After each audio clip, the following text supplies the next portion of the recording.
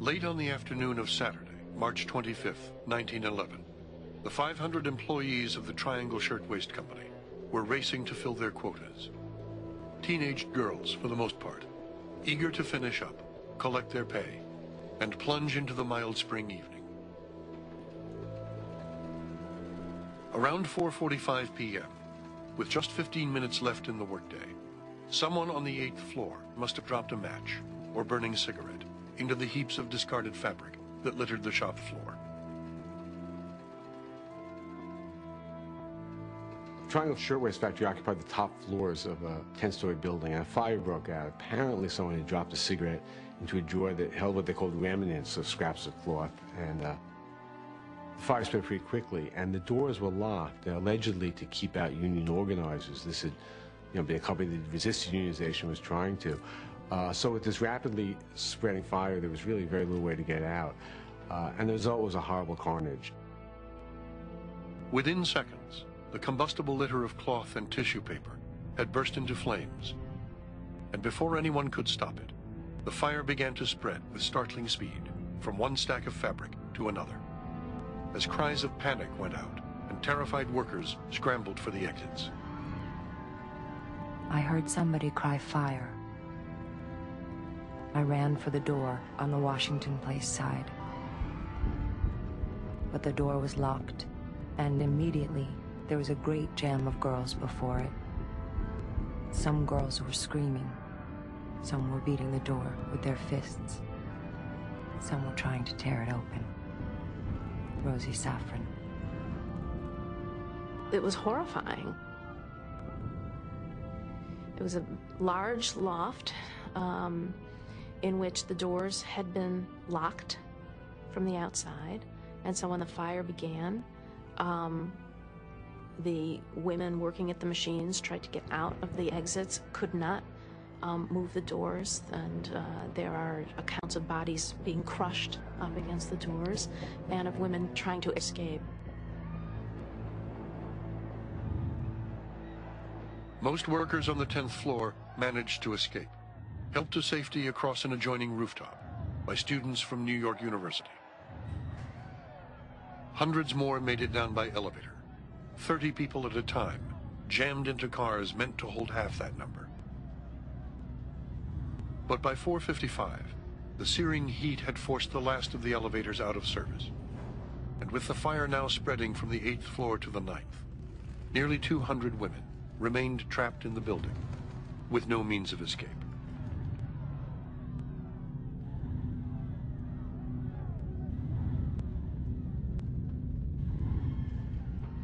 On the eighth floor, workers tried bravely to stop the fire, but the flames were too quick, and the water pressure in the fire hoses failed them. As the searing heat and smoke intensified, the factory floor became an incinerator. And as bodies piled up in front of the locked main exit, those who still could raced for a fire escape on the far western end of the building. Fewer than 20 women managed to get out before the rusted metal supports gave way, sending several workers plunging to their death and cutting off the last means of escape for all the others. With a wall of fire advancing on them, the terrified women moved to the open windows.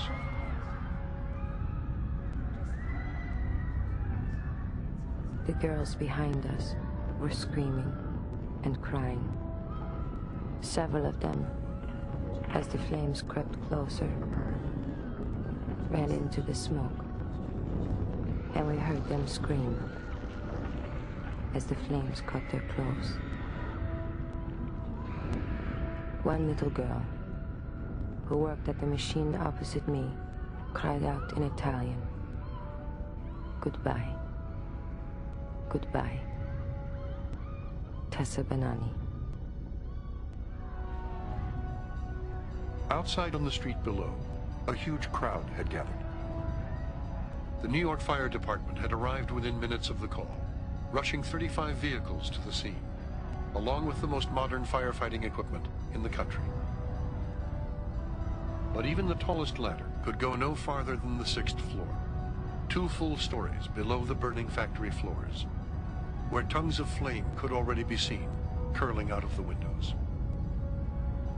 The fire, of course, like any fire in Manhattan, could be spotted from blocks and blocks around because of the smoke. So there were big crowds on the streets below, and the fire had gone on long enough that people had also heard the word down on the Lower East Side and had come up to the village, waiting to see what would happen. And then it became apparent in this heart gripping moment that no one could get out except if they jumped. At 5.05, a laborer named Dominic Cardiani, pushing his wheelbarrow down Greene Street, heard a muffled explosion, followed by the sound of breaking glass. Glancing up, he saw what he thought were dark bundles of clothes, sailing from an eighth floor window. You know, you can hardly believe it when you read about it. I mean, imagine from the eighth, ninth, and tenth floors of a building overlooking Washington Square Park. You know, it's it, first this great tongue of flame leaps out, you know, and passes by where there's some policeman said, oh, it was just a momentary accident. Then all of a sudden, one passerby said something that looked like a bale of old clothes comes plummeting down from the eighth floor and hits with this thud that somehow seemed too loud for a bale of clothes on the sidewalk. And someone said they must be throwing, and it was burning as it fell. They must be throwing out the burning bales of clothes. And then other bodies started to come down. People realized that, I young girls would go out on the ledge. The flames would be looming up behind them, and they jump, of course, to die. Uh, some would try to cling to the ledge with their fingertips, but they couldn't. You have plummeting down to the street scores of burning dead bodies. There was also an iron fence below, so some of the young women, when they jumped, were impaled on the iron fence. And people who saw it said that they never forgot it, that it was a sight that burned itself on the retina of the watchers. William Shepherd, a reporter for the United Press, called the story in as he watched from a payphone across the street. I learned a new sound. More horrible sound than description can picture. It was the thud of a speeding, living body on a stone sidewalk. Thud. Dead. Thud. Dead. Thud. Dead. Thud. Dead. There was plenty of chance to watch them as they came down. The height was 80 feet. The first 10 thuds, deads, shocked me. I looked up, saw that there were scores of girls at the windows. The flames from the floor below were beating in their faces. Somehow I knew that they too must come down. I even watched one girl falling, waving her arms, trying to keep her body upright, until the very instant she struck the sidewalk. Then came the thud. Then a silent, unmoving pile of clothing and twisted, broken limbs. William Shepherd. By now, dozens of women at a time could be seen standing at the eighth and ninth floor windows, all but engulfed by the inferno. As those below watched in horror, groups of women, three and four at a time, grabbed each other by the hand, closed their eyes, and plunged off the building. They hit the pavement just like rain, a stunned fire chief named Edward Worth later testified. Frances Perkins, a 31-year-old advocate with the Consumers League, stood with her hand at her throat, helpless to stop the unfolding tragedy. The nets were broken. The firemen kept shouting for them not to jump. But they had no choice. The flames were right behind them. For by this time, the fire was far gone.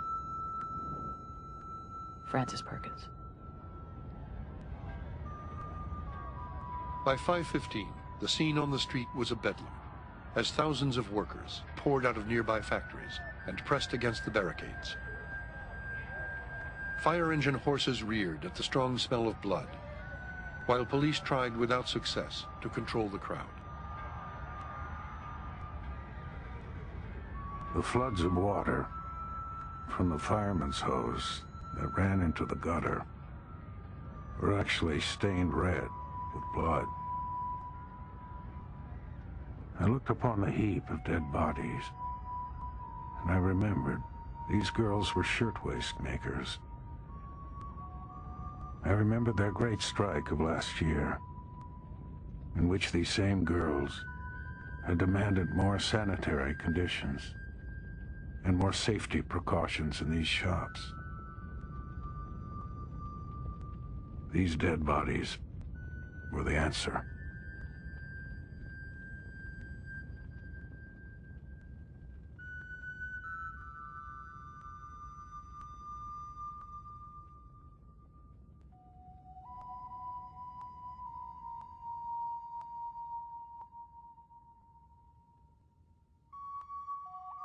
It was over in less than half an hour.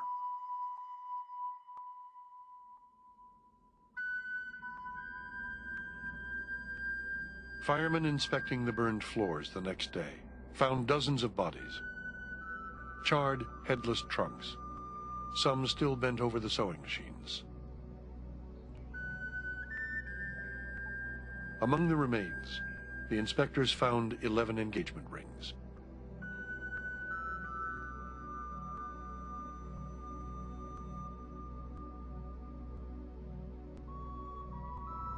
In all, 146 people. Teenagers for the most part. Immigrant girls. Some as young as 14. Had died in the greatest industrial disaster in the city's history. Some died of smoke inhalation, piled against the doors trying to get out. Some died, were burned to death, and some jumped out of the windows and died. 141 young women died. And of course, when the, the fire men finally enter that building. The dead bodies are heaped up against the doors because there were no fire exits, there was no safety precautions. March 26, 1911. The remains of the dead. It is hardly possible to call them bodies, because that word would suggest something human. And there was nothing human about most of these were taken in a steady stream to the morgue for identification. The New York Times. At a temporary morgue set up on a pier along the East River, relatives lined up to identify the corpses. The ghastly process took three full days.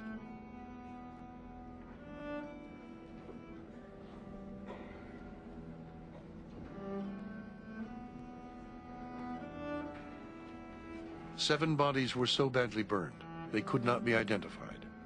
And on April 5, 1911, a mass funeral was held for the unknown victims. 120,000 working people joined in the procession, despite a heavy rain, while 400,000 more watched silently from the sidewalk. A mass emotion of sorrow and despair was felt everywhere that day. But in the weeks that followed, these emotions gave way to angry questioning and a determination that a similar tragedy must never take place in New York again. A few months later, the owners of the Triangle Factory, Isaac Harris and Max Blanck, were tried for manslaughter having locked their workers in. But to the shocked disbelief of the victims' families, and of most New Yorkers, the two men were acquitted when the prosecution was unable to prove that they had actually known that the exit door was locked at the exact time of the fire. There was a trial, and the trial found that the owners were not guilty, for they had broken no law. Yes, they might not have been very nice to have locked in these young women, but there was no law, and so there was no repercussion. Within weeks, the Triangle factory had reopened in a nearby building. Visiting the new plant, fire inspectors found the exit door blocked by rows of sewing machines.